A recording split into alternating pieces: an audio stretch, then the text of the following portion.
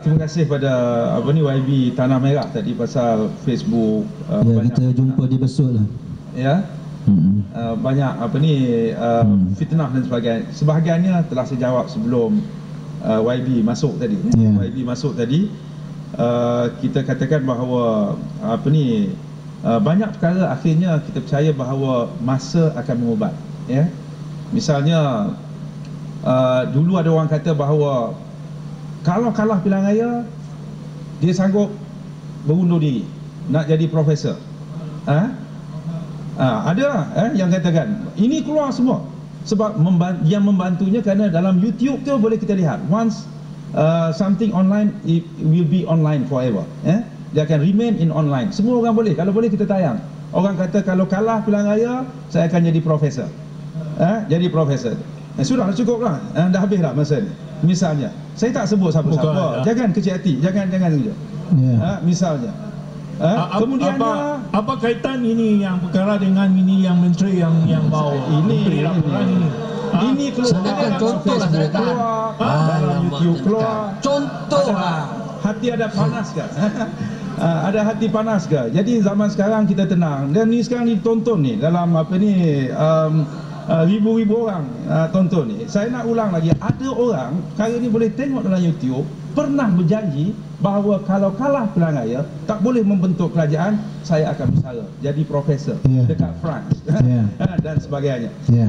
Ini kita boleh tengok rakyat akan Siapa tu? Siapa tu? Ha? Dan kita katakan bahawa sebab itu sekarang ni uh, bila sebut blackout, Black 505 saya boleh istiharkan sudah berkubur apabila mereka mengangkat sumpah dan telah disaksikan oleh jutaan rakyat Malaysia mereka telah membohongi rakyat. kes, ada kes di mahkamah. Cukup, belum cukup, lagi cukup, habis. cukup, Ya. cukup. Yang lainnya uh, saya terima kasih Ya. uh, YB apa ni Kota Raja kata uh, apa ni utusan di fitnah apa sebagainya uh, kalah dalam kod sekurangnya mereka yakin eh, kepada sistem mahkamah kita. Ya. eh, mereka percaya dan yakin pada sistem mahkamah kita. Kalau percaya kenapa buat black of five of five? Kalau tak setuju mana yang tak betul? Bawa petition pergi mahkamah. Tapi berapa ramai rakyat ditipu? Berapa kali perhimpunan dibuat? Bagaimana rakyat disuruh untuk berbaring di tengah jerebu yang berbahaya?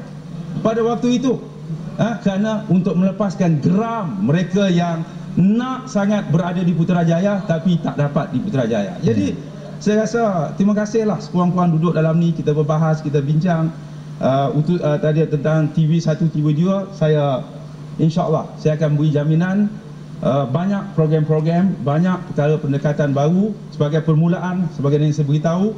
Kita dah ada channel baru RTM Parlimen eh sekarang ni boleh disaksikan eh melalui RTM bukan sahaja TV boleh disaksikan melalui iPad melalui smartphone uh, bahawa sekarang ini apa yang kita bicarakan adalah terbuka dan saya difahami dari segi ratingnya adalah cukup tinggi.